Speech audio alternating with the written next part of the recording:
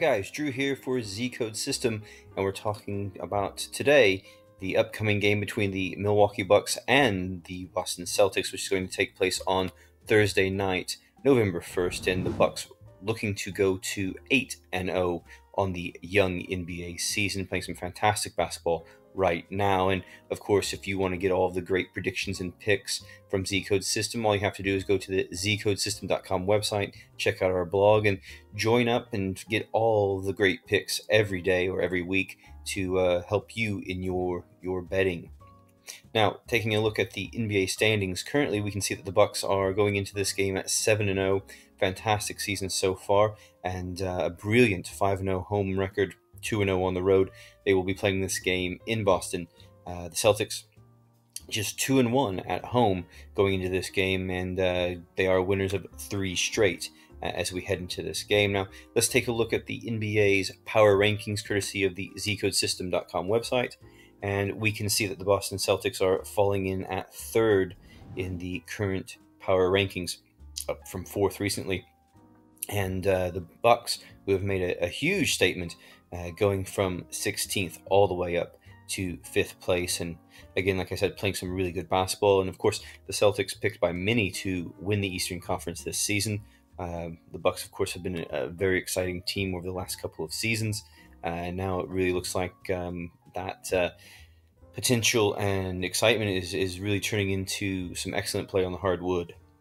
Uh, looking over at the power rankings indicator between the Bucks and the Celtics, we can see that the Celtics, who are our red line here, they are plus 28 as of October 30th, uh, heading into this game. Uh, the Bucks just slightly below them, plus 25 in our power rankings indicator. So um, these two teams quite evenly matched uh, heading into this game, and we can see some more data here uh, leading into this. We can see that you know, the Bucks have been scoring really well um, this season um, an excellent scoring team, and they will be taking on a, a Celtics that are um, typically known for their their solid defense. So uh, this is going to be a, a, bit of a matchup between Boston's rugged defense, hurrying teams, and, and making them take um, quick shots uh, against the Bucks, who are, are doing really well. We can see in the Bucks' last game on the 29th, scoring 124 points against the Toronto Raptors.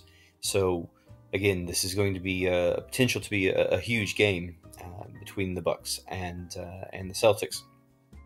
Now, for anyone who wants to get all the information that they need to make educated and well placed betting picks, they can just go to the Zcode System website, check out the blog, uh, have a read of uh, our different picks, whether it's basketball, baseball, um, soccer, or NFL.